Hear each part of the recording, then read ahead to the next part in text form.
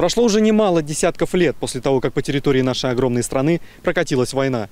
Эхо тех страшных событий до сих пор живет в болотных трясинах, в заплывших окопах и огромных воронках.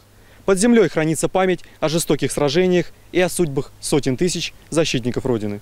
В течение нескольких дней поисковые отряды из Десногорска, Рославля, Смоленска и Сыктывкара принимали участие в поисково-разведывательных работах. Они разбили лагерь в районе урочища Крайчики Куйбышевского района Калужской области – в настоящее время это место было малоизученным, однако поисковики, опираясь на исторические справки и боевые донесения, узнали, что в 1943 году в этой локации проходили ожесточенные сражения 10-й армии 330-й стрелковой дивизии с фашистскими войсками. За неделю до экспедиции была проведена разведка в местах сражений, выполнен тщательный опрос местных жителей соседних деревень. Благодаря этой масштабной работе, а также используя георадары, поисковикам в первый же день удалось обнаружить останки одного из солдат. При бойце были найдены две противотанковые гранаты, детонаторы с отпечатками газеты на русском языке, каска, трофейная немецкая фляжка с водой того времени, личные вещи и коробочка для табака.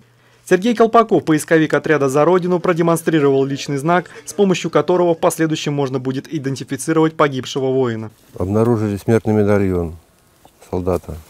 Вот сейчас мы его будем просто поднимать.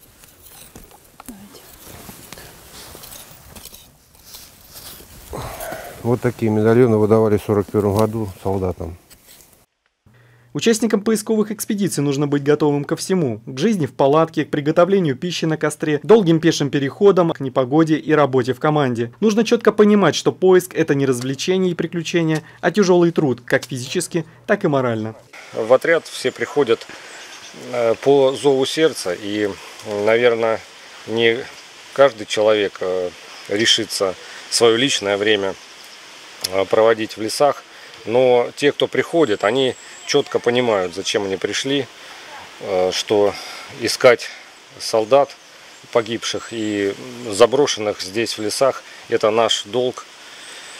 И мы выходим в каждую экспедицию с надеждой как можно больше найти солдат, установить имен, найти родственников, сообщить о месте гибели их их предков. Настоящее патриотическое воспитание, оно здесь, а на местах боев, где действительно ребята видят историю своими глазами, видят, как э, солдаты погибали. Это даже не из учебников школьных, это, эту историю приходится трогать руками. В отряде «За Родину» заведена добрая традиция. На месте обнаружения солдата на ближайшее дерево устанавливается красная звезда. Это сделано для того, чтобы увековечить место, в котором солдат провел последние минуты жизни. Раскопки продолжаются. Для многих поисковиков и краеведов это вопрос уже не только общей, но и личной истории.